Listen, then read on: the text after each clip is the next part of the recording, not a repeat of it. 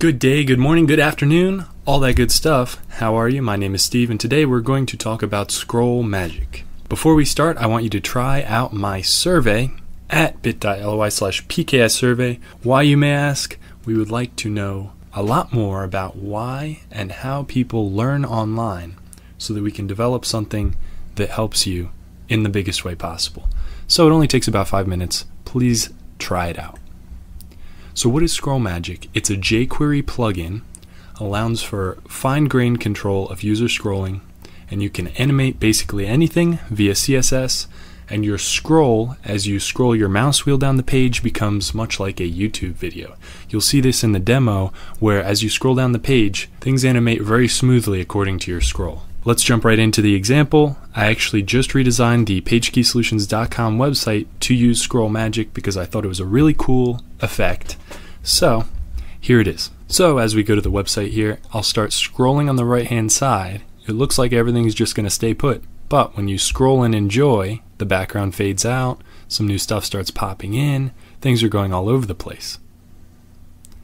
So, elements are flying in, flying out, appearing and disappearing. As you can see, it's really there's really no limit to the things that you can do with this bit of software. It doesn't have to be linear. It's almost like a PowerPoint right in your browser. It's pretty cool. Before we get into the nitty gritty of how to get this done, I just wanted to point out a tip that I wish that I knew when I started the project that I just showed you, and that is centering things in the screen. There are a number of techniques for this, but the one that I liked the most for this kind of thing I found on CSStricks.com. It makes use of fixed positioning, top left percentage, and element translate. And it really helped me towards the end, after I did it wrong quite a few times, to get things perfectly centered in the screen. Here's an example. All you have to do is apply these four properties. The first is position fixed. This means that the position of the element is independent of its parent element. It's positioned relative to the window.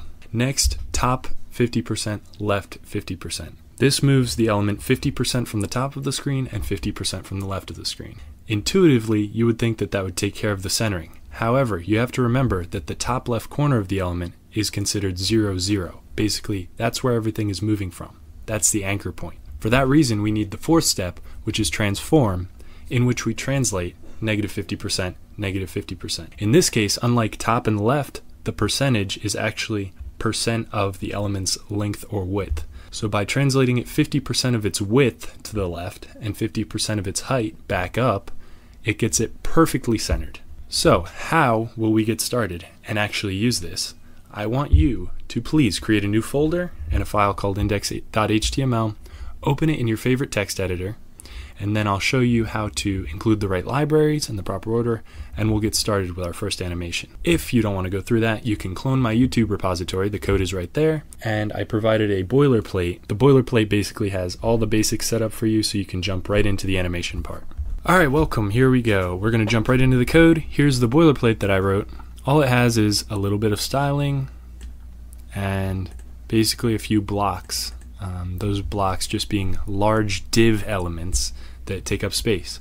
Also a modal, which is currently hidden. It's like a pop-up. We'll see what it does in a few minutes. And at the bottom here, we include a whole bunch of scripts in an order that took me a while to figure out. First of all, you need jQuery since it's all a plugin of jQuery, and we initialize our controller. So as it stands, our little boilerplate code looks just like this. A title, block 1, block 2, block 3, colorful blocks. Last one's a little too bright.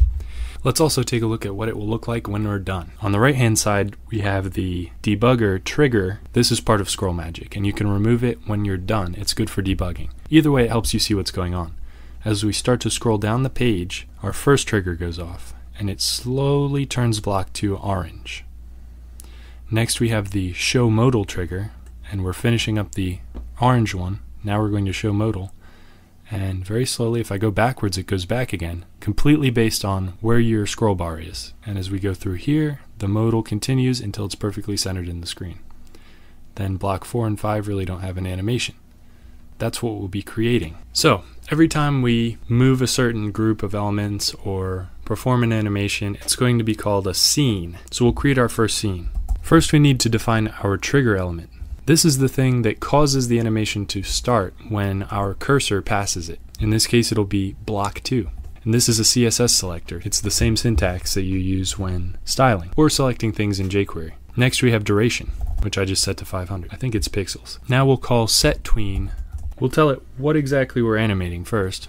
In this case, it's the same as the trigger element. The second argument to set tween is also duration. I'm not really sure what the difference is, but the default value is 1, and it seems to work. Then we're going to pass an object in the brackets. This object represents all of the CSS or style changes that we will perform. If there's a dash in the CSS selector, it converts to camel case. In this case, background dash color becomes background color, all one word. We'll change the background color to orange. Next we call add indicators. This is the thing that adds the little debug line so we can see where the trigger is. We can also give it a name. In this case, we'll just describe what we're doing. Turn block to orange. Finally, we'll add this scene to our controller. Let's make another scene. This time we'll show the hidden modal. You'll notice in our style up here that the modal is currently set to top negative 25%. In other words, it's 25% above the top of the screen, completely out of view. To bring it into view, we'll use the trigger element as block 3 again. We won't bring it into view until we pass block 3. The duration is 500. Now that I think of it, I did set the height to each block to 500, so the duration is in pixels. We can set another tween this time, the element we're affecting is modal. We'll keep a duration of 1, and we'll change the top parameter to 50%. Once again, we can add indicators to tell what we're doing exactly. And finally, we'll add it to the controller. Typo. And once again, here's what it looks like when we run the code. We have our trigger, we begin turning block to orange, and it finishes after 500 pixels. And now modal's flying in for 500 more pixels, and it's over again. We can go backwards, and it will undo itself. So that's all there is to it code wise. Now, I'm sure you're eager to go out and try this immediately. Before you do, let me warn you with one more tip. If you ever notice a flash when you first reload the page, it's probably because your default CSS in your CSS file or in the style element on your page doesn't match what Scroll Magic thinks it should be. Just make sure that you define the element state before an animation in your CSS styles. This way, when you start the page and Scroll Magic moves everything with JavaScript, it's actually already in place with CSS. So it'll all look good, no flashing. Thanks again for watching the tutorial. Probably in less time than it took you to watch this, you can also go take the survey, once again at bit.ly slash pks-survey. Thank you and have a great day.